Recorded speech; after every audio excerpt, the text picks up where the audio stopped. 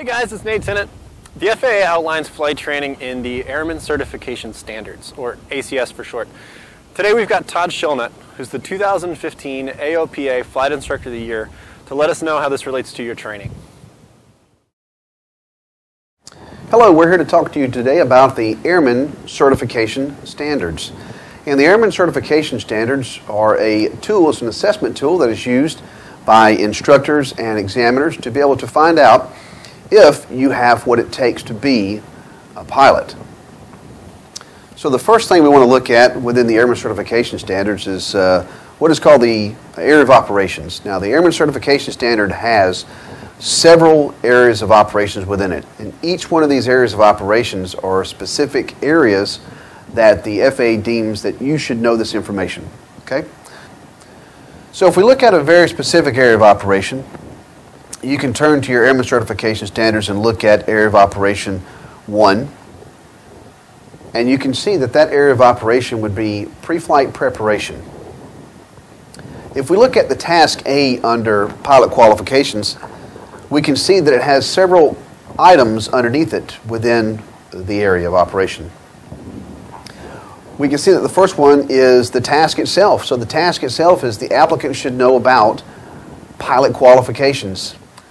So in this particular task, what the examiner will be looking at is do you know what you have to do or have with you in order to exercise the privileges of your pilot certificate? So we start off in each task with the references. So where do we actually go to study this material?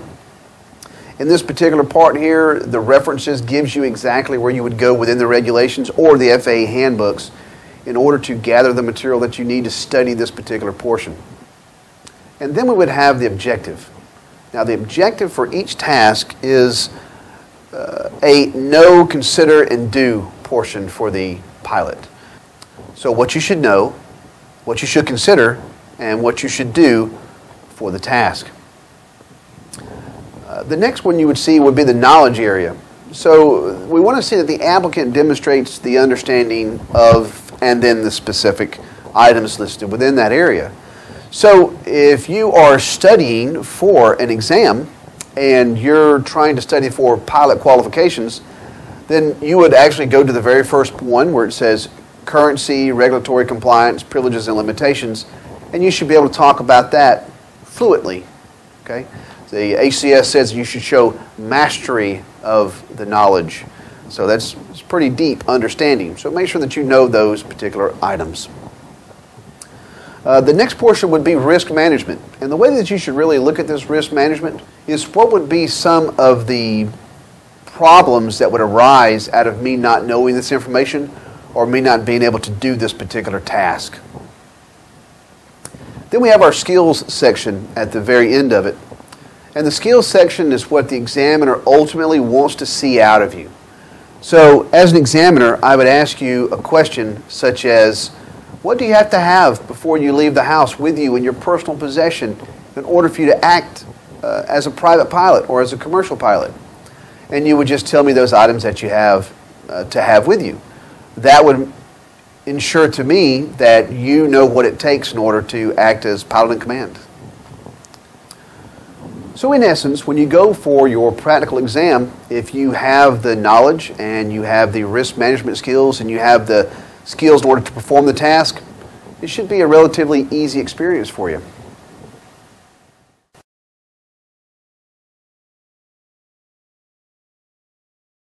So, now that we've actually looked at what an area of operation would look like under the oral portion of your exam, let's talk about what it would look like under the flight portion of the exam. So if we look in our ACS under Area of Operation Task 6 for the private pilot, and we look at Task C, which is diversion, we can see that we have certain references here. It gives the AD83, which is your handbooks, uh, the Airman's Information Manual, and navigation charts. So in order for you to properly do a diversion, you have to be familiar with those references. Now, if we look at our objective, of course, if you remember what I said earlier, on our objective, it's what we should know, what we should consider, and what we should do on this particular task. So it says here to determine that the applicant exhibits satisfactory knowledge, risk management, and skills associated with the diversion, which is pretty much the objective for each area of operation within the ACS. Now we also see that we, our knowledge portion here says that the applicant demonstrates the understanding of selecting a divert destination. So in this particular one, you actually would be the one who actually does select your diversion point. Some examiners select your diversion point, but you must actually show the examiner that you should select your diversion point. And then being able to deviate from ATC instructions and or the flight plan. So just by the knowledge of this particular portion here is something that the examiner could actually ask you in the oral portion of the exam too. So it's important that you know the knowledge portion of every area of operation.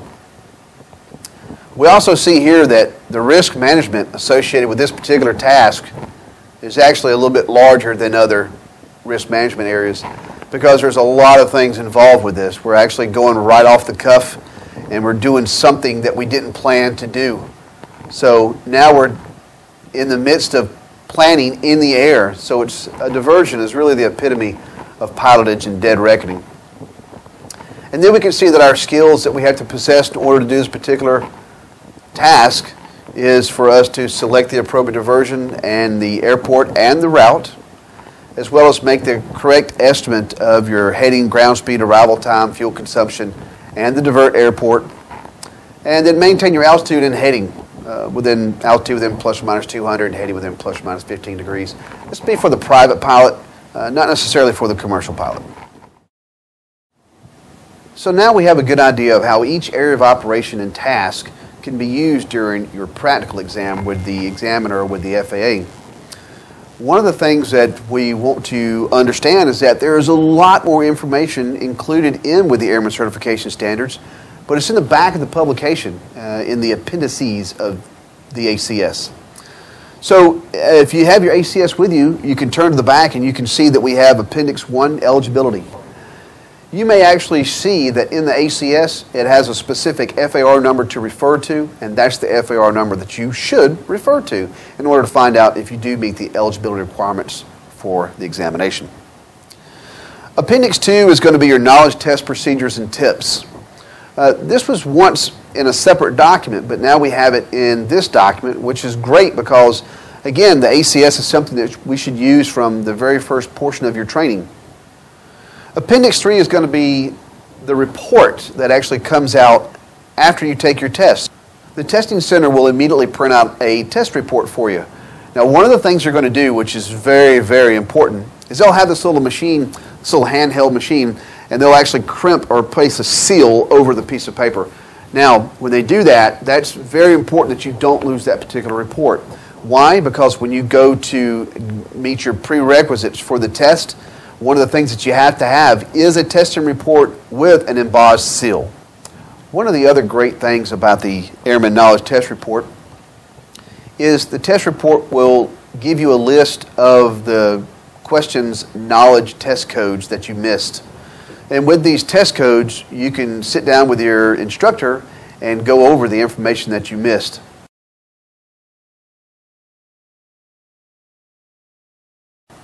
Appendix 5 we've already briefly touched on a little bit. It talks about the, the roles of each person who should come into play while using the ACS. And we have the applicant, the instructor, and the evaluator. Uh, the evaluator can be a designated pilot examiner or an aviation safety inspector. Now, Appendix 5 deals specifically with the practical test roles, responsibilities, and outcomes. We've already briefly touched on this a little bit about the roles. We have the applicant, we have the instructor, we also have the evaluator. So if you remember, the applicant's role is to be familiar with the ACS. The instructor's role is that he properly train you to meet or exceed the standards of the ACS. And the evaluator's role is to ensure that you actually do meet the standards of the ACS. Um, one of the other things that we have to look at is uh, how else can the applicant be prepared for uh, the check ride? Well, uh, it's quite simple. In the ACS, they give a list, a checklist for uh, the applicant. And so when you get ready to go to a exam, as you can see here, we'll post a picture of it. Uh, this is the practical test checklist for the exam. When you get ready to go into the exam a day before, a couple days before, just print out this checklist and go right down beside it and check each block, make sure you have these particular items. Um, if you don't have all these items that uh, checked here, then it would not be a good thing to actually show up for the check ride. These are pretty good grounds for the examiner to not even start the check ride to begin with. So you want to make sure that you have everything on this list. Appendix 6 is a pretty big one. Uh, the FAA nowadays is really, really big on risk management. And almost this entire Appendix 6 is dealing with some form of risk management. But during the entire check ride, the examiner uh, or evaluator is going to be looking to make sure that you have these particular skills. For instance, such as stall and spin awareness. Uh, if he's looking for proper rudder control and how you're recovering. If he sees you recover from a stall uh, that's uh, to the left and you've put full right aileron, well, that may not be the proper recovery procedure that the examiner is looking for. Uh, use a checklist. If you are preparing to take off and you don't refer to a paper checklist, that also may be a problem, and the examiner could stop the check ride there. Uh, use of distractions. Use of distractions are something that it's not meant to be a game by the examiner, but he wants to see that you're, you're that in the in the moment that you don't let other things interfere with what you're trying to do. One of the other things is positive exchange of flight controls.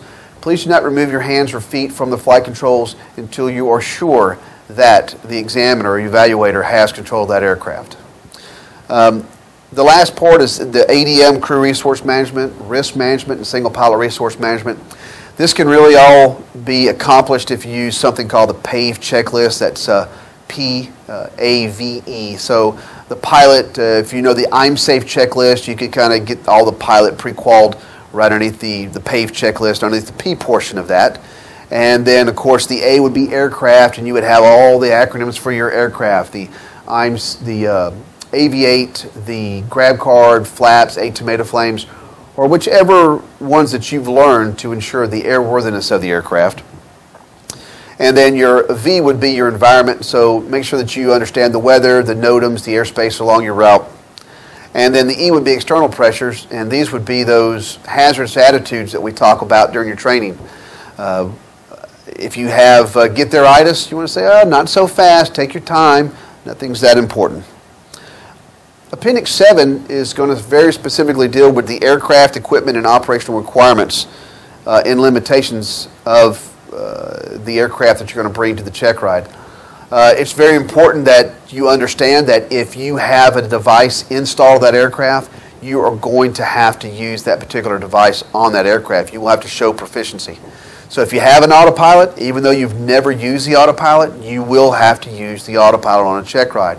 If it's built in, the examiner is supposed to um, see that you know how to use that particular device. Um, Appendix 8 deals with the use of flight simulators. Now, this is a kind of an open-end subject, and it's, it not only deals with the certification part of it, uh, dealing with how you train, but also deals with what you can actually use, what kind of simulators you can actually use for the check ride. Uh, this is a very open-ended subject, so I would definitely recommend that if you're going to use a simulator for your check ride, or if you're using a simulator for any portion of your check ride, please consult the current FARs and advisory circulars that deal with this subject matter. Now, I know that you're saying right now, well, where did everybody get this information from? Well, it's pretty simple. Uh, Appendix 9 is going to tell you where they got all the information. It's because it deals with the references for the ACS. So if you're kind of unsure about uh, where to go to find out specific pieces of information, or if you're simply just wanting to pick up an ACS and start studying for your next rating, you can just go to Appendix 9 and it shows you all the books and handbooks and everything associated with knowing what you need to know for the knowledge and skill portion of your exam. Uh, Appendix 10 just deals with abbreviations and acronyms. So if you saw something in the ACS that you really don't know, or if you don't know what ACS means, you can just go to the Appendix 10 and it'll tell you what it means. I hope you enjoyed your seminar today. And for Gold Seal, I'm Todd Shelnut.